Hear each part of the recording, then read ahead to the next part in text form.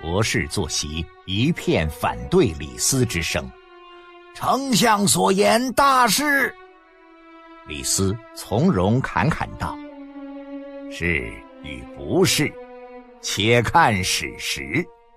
其一，三代之时，天下未曾激荡生发，不知郡县治也，为之封建制也。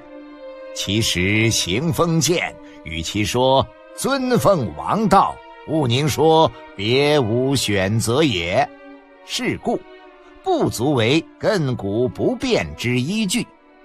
其二，周行诸侯制，前后所封王族与功臣千八百余国，可谓众封建矣。然则，周武王尸骨未寒，周氏祸乱大生，发难者恰是王族管蔡诸侯。如此封建，谈何拱卫天子？谈何拱卫王室？周幽王好经之乱，王族大诸侯晋鲁齐皆不敢救。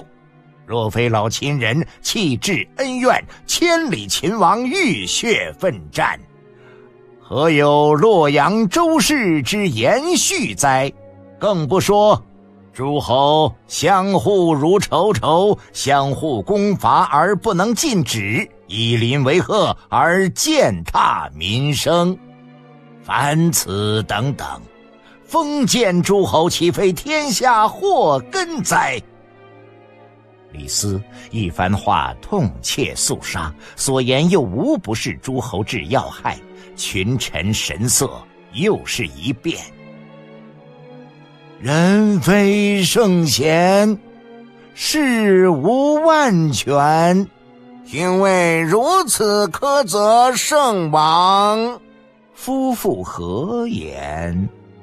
王婉不屑的冷漠一笑，坐回了文臣首座，板着脸，一句话不说了。臣，博士报白令之，敢请诸王子之见。博士席突兀一声，博士们一片呼应。臣等敢请诸王子奏对。大臣们似觉唐突，又似乎对博士们此等颇具离间意味的动议大有怀疑。举殿无一人附议，王子们则惴惴不安地望着帝座，纷纷低下了头去。皇帝说话了。愿说者便说，无需顾忌。儿臣扶苏有奏。英挺的皇长子一站起来，群臣眼睛立即亮了。只见扶苏向帝作一躬，肃然正色道：“儿臣以为，大秦一统华夏，皆由将士鲜血而来，理当推行郡县，由国家统一治民，使民无私政之苦。”扶苏纵为皇子，若求封国而行私政，国法安在？好！文武两大区皆有人高声拍案赞叹。胡亥有奏，一声清亮稚嫩的童音陡然荡开，群臣大为惊讶。后排臣子们纷纷站起，向前打量。皇帝不禁笑了，哈哈哈哈哈。你小子也敢有奏啊？好，有胆色，说。皇帝话音落点，一个同志话音在大殿中清亮的飞旋起来。胡亥身为皇子，不求一己之利，唯愿天下大治。胡亥不做封国诸侯，只做大秦良臣。才。举殿无分政见，爆发出一阵轰然笑声。呃呃，皇子同志轻言，呃，不足论长策。包白令之昂昂然喊了一声，大臣们颇觉滑稽，又是一阵哄笑。正在此时，东区武臣席中，王奔站了起来。臣等有奏。一句话落点，大殿立即肃静下来。谁都知道，如此重大的议政，拥有最高爵位的几位武臣，至今还没有人说话。臣通武侯王贲，得武成侯王翦、九原侯蒙恬、陇西侯李信之托，代奏皇帝陛下。华夏边地之治，若阴山，若陇西，若辽东，若南海，犹须郡县一治。若行封建，华夏必失万里屏障也。周氏之亡，亡在诸侯；诸侯之患，动乱之源也。大秦不行封建，动乱将大为减少。纵然六国旧世族图谋复辟，亦不至裹挟民众。其实复辟士卒孤立天下，我大秦六十万铁军何惧之有？此臣等之奏对也。皇帝陛下明察。王贲的话语一如既往的平实，没有一句激昂之词，确实已经渐渐闷热起来的大殿，如秋风扫过，顿见一片肃杀气息。大臣们顿时平静了，没有人想说话了，只有博士们惊愕的相互顾盼着，似乎不明白这个黝黑粗壮的蛮石将军何以竟能有如此威慑力。各方大要清楚，老臣敢请陛下决断。王婉以为不需要再争了。敢请陛下决断。举鞭一声，皇帝拍案：“好，旬日之内，朕以诏书说话。”散朝。这一夜，皇帝书房的灯火一直亮到东方发白。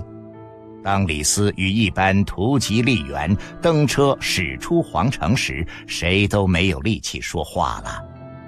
三日后，李斯醒来，皇帝的诏书已经颁行了。当府丞将诏书恭敬地送进书房，为主官铿锵诵读时，李斯的泪水打湿了衣襟。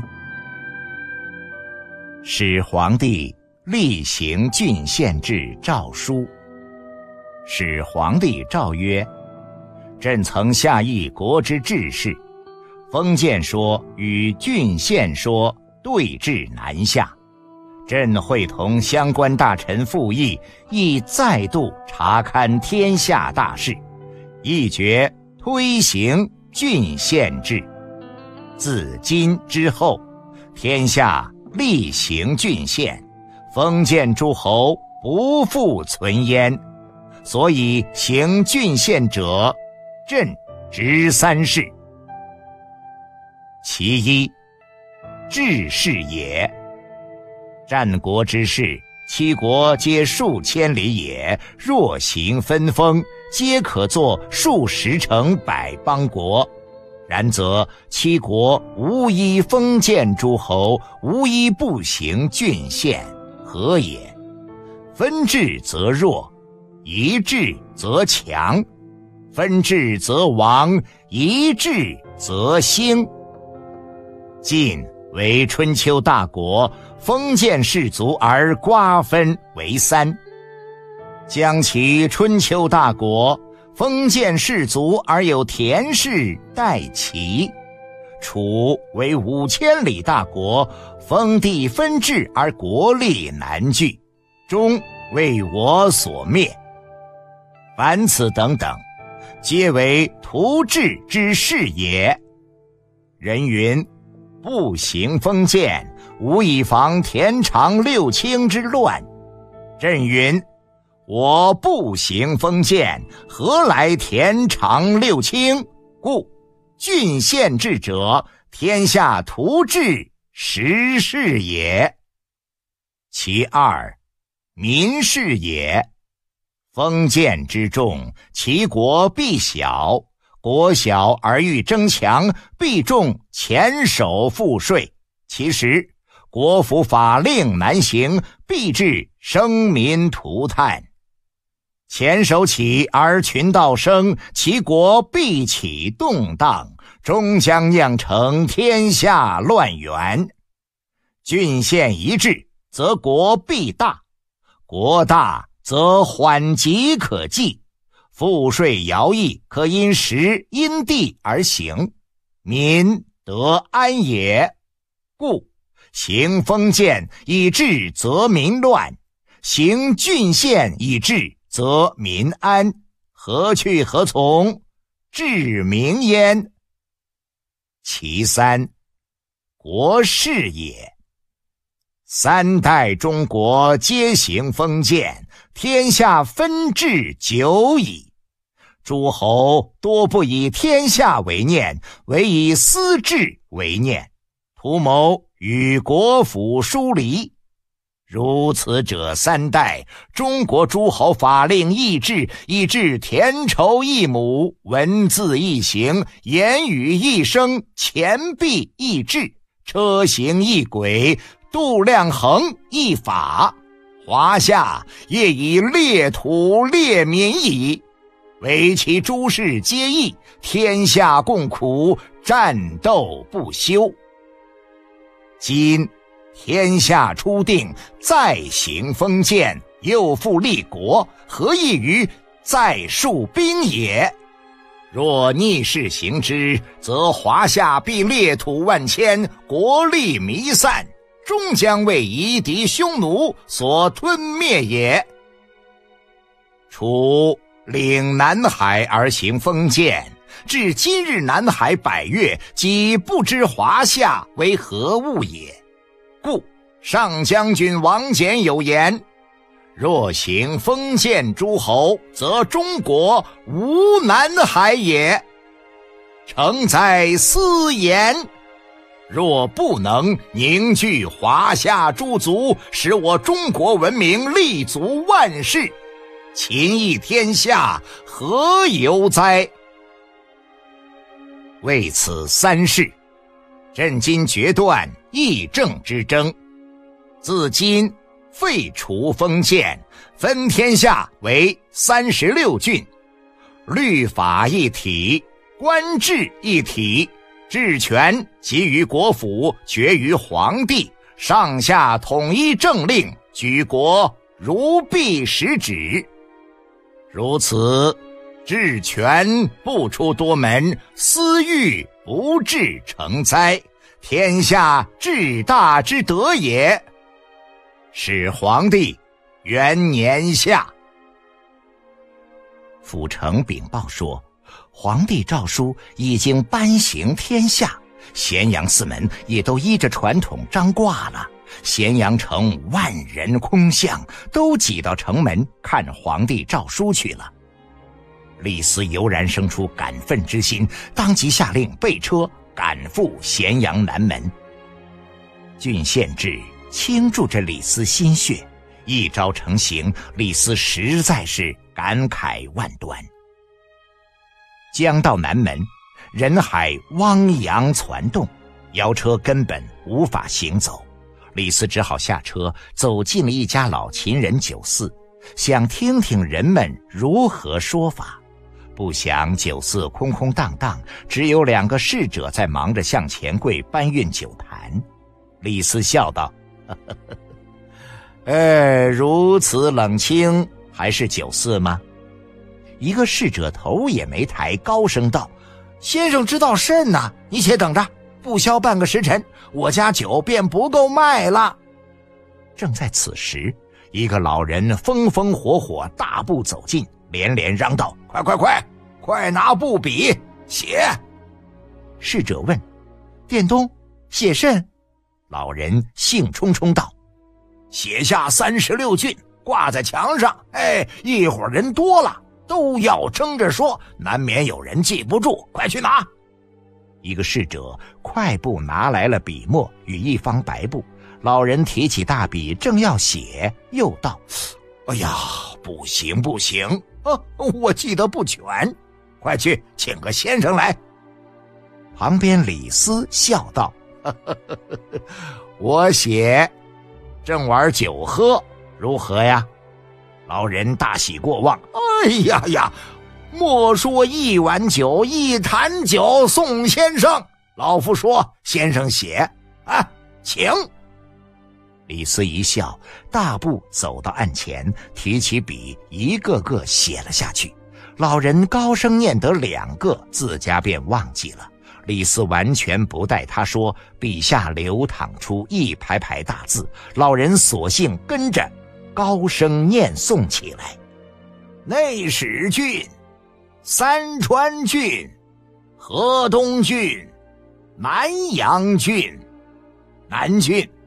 九江郡、张郡、会稽郡、颍川郡、砀郡、泗水郡、薛郡、东郡、琅琊郡、祁郡、上古郡、渔阳郡、右北平郡、辽西郡、辽东郡、代郡、巨鹿郡。邯郸郡、上党郡、太原郡、云中郡、九原郡、雁门郡、上郡、陇西郡、北地郡、汉中郡、巴郡、蜀郡、黔中郡、长沙郡，才。李斯写郡期间，人群已经渐渐聚拢在殿堂围观。李斯落笔，人群爆发出一阵轰然喝彩声。李斯割下大笔，向众人一拱手，高声道：“目下三十六郡为初分，天下大安之际，或将增设新郡。父老们，拭目以待。”话音落点，一阵万岁声大作，李斯顿时被种种询问淹没了。正在李斯玉在酒肆痛饮之时，府城匆匆赶来说：“皇帝紧急召见。”王婉的辞官书送进王城时，嬴政堪堪用罢午膳。辞官书不长，理由也只有几句。年高力衰，领事无力，见识迟暮，无以与皇帝同步。就事论事，王婉所言都是实情。论年岁，王婉已经年近七旬，经年在丞相府没日没夜连轴转，精神体魄已大不如前了。论政见。王婉力主封建制，也确实与嬴政的绝世轴心难以同心协力。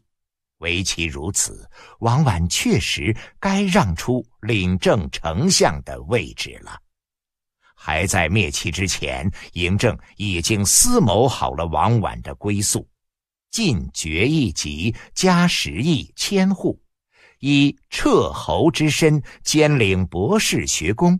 整饬天下典籍，以为治国见解。君上，丞相府城来郡守县令，你认输。